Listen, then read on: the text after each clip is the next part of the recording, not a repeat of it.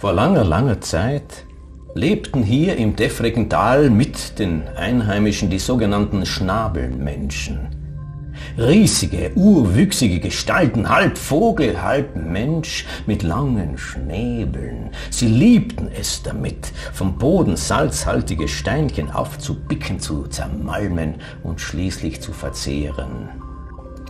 Meist konnte man die Schnabelmenschen antreffen zwischen den großen Granitgesteinsblöcken bei Hopfgarten oder am Hirschbüchel bei St. Jakob. Ihre ureigenste Aufgabe war es, Hüter und Beschützer des Tales zu sein.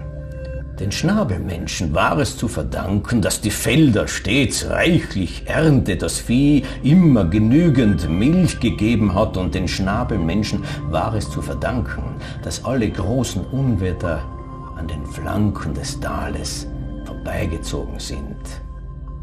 Allerdings war dieser Schutz und Segen an eine Bedingung gebunden. Niemand von den Einheimischen durfte das Tal verlassen und niemand von den Auswärtigen, von den Fremden durfte das Tal betreten. So wollten es die Schnabelmenschen. Eines Tages allerdings nimmt das Schicksal eine Wende. In der Jagdhausalm oberhalb des Tales, in einer kleinen Mulde, sammelt sich eine Quelle wird immer größer, bildet einen kleinen Teich mit blauen, tiefen, dunklen, schönen Wasser, rundum gesäumt von grünen, langstieligen Schilf, gar wunderbar anzusehen. Ein Ort der Träume. Bald schon nimmt dieses Kleinod die Farben eines Pfauenauges an. Und schon bald pilgern die Menschen aus dem Tal herauf, vorbei an der Oberhausalm mit den duftenden Zirben, Waldgürtel vorbei bei den pfeifenden Murmeltieren, bis hin zum Pfauenauge, dem Ort des Träumens. Und als sie hineinblicken in das Wasser, sehen sie an der Oberfläche die vorbeiziehenden Wolken am Himmel. Da beginnen die Konturen und Silhouetten der Wolken langsam die Formen ferner Länder und Kontinente anzunehmen und immer mehr sickert das Fernweh in das Tal herein. Es dauert nicht mehr lange und die ersten Defriger wollen das Tal verlassen. Doch die Schnabelmenschen verhindern dies. Zuerst wird der Gürtel des Waldes rundum immer dichter und dunkler. Dann versperren rätselhafte Geröll- und Steinlawinen die spärlichen Wege.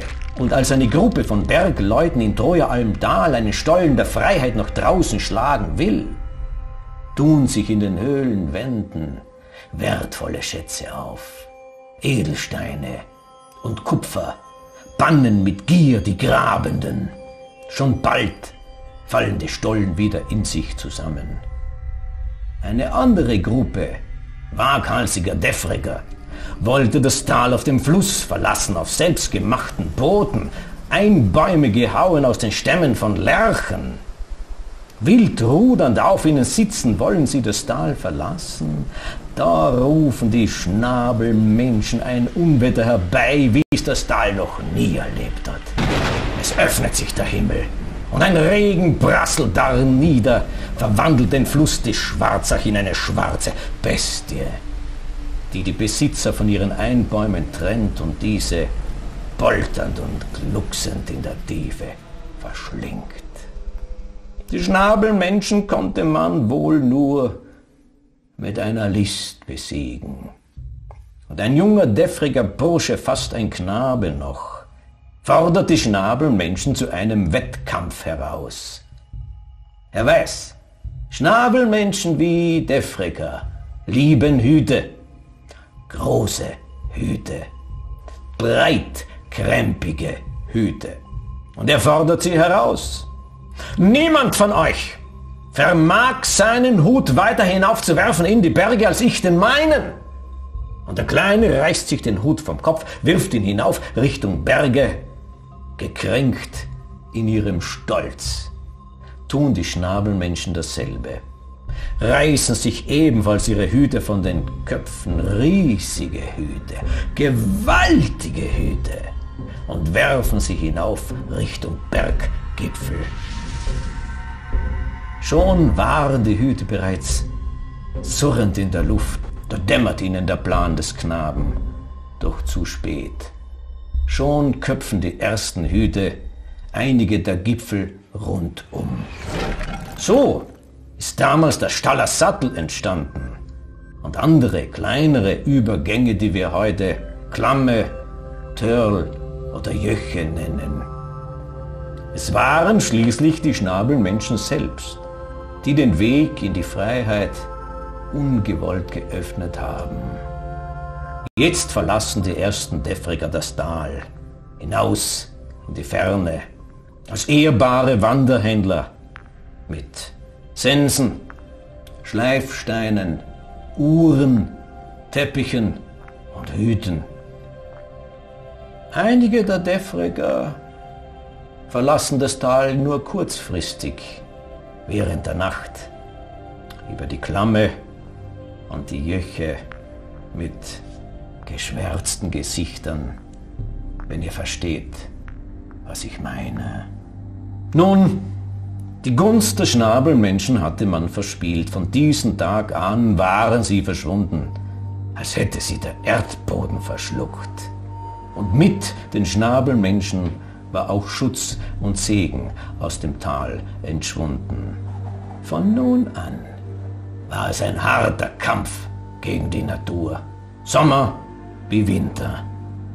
Ein hartes Ringen um das tägliche Brot. Und die Defriger in der Ferne machten eine geheimnisvolle Erfahrung.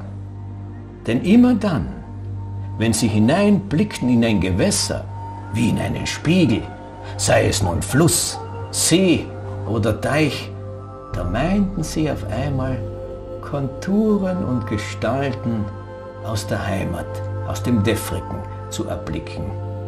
Nicht verwunderlich, dass wenige Jahre danach die ersten Händler als Heimkehrer zurückkehrten. Mit einem wertvollen Geschenk, einem Artefakt aus einem fernen Kontinent, eine sogenannte Schnabelflöte.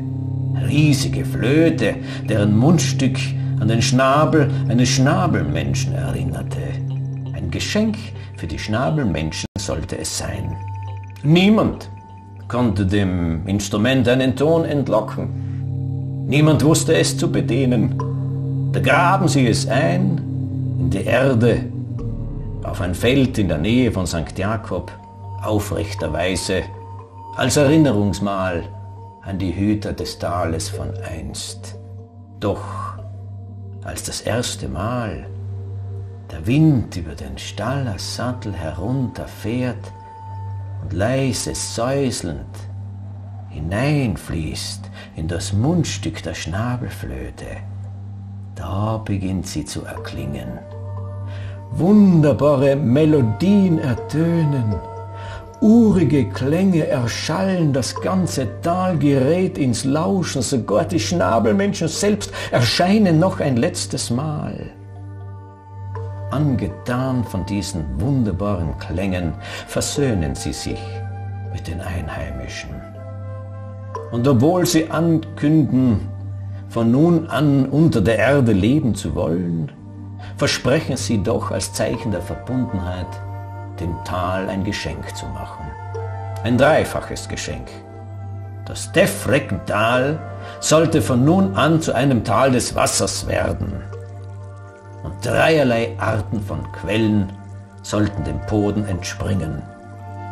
Eine Art von Quellen an der Südflanke des Tales mit süßen, wohlschmeckenden Trinkwasser. Eine Art von Quellen aus der Tiefe der Erde mit dem Geruch der Scholle. Schmeckt noch Schwefel, Schwefelbrunn oder Bad Grünmoos. Wunderbar dazu geeignet, ein Bad darin zu nehmen. Und eine Quelle, eine ganz besondere Quelle, eine einzigartige Quelle, Ihr Wasser fließt nur spärlich. Sie entspringt aus der tiefsten Tiefe der Erde. Sie entspringt im Urmeer selbst, das tief verborgen unter dem däffrigen Tal liegt. Ihr Wasser aus der tiefsten Tiefe der Erde schmeckt leicht salzig. Und es heißt, die Heilkraft dieser Urquelle wäre so immens, dass ein Fingerhut davon schon so wertvoll sei wie Elfenwein oder sogar Himmelsbalsam selbst.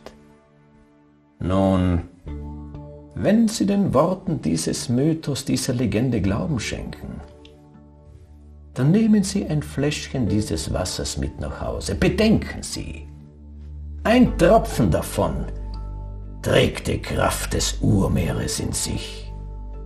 In einem Tropfen wirken alle guten Wünsche der Schnabelmenschen um Gesundheit und Glück für jeden Einzelnen von uns allen.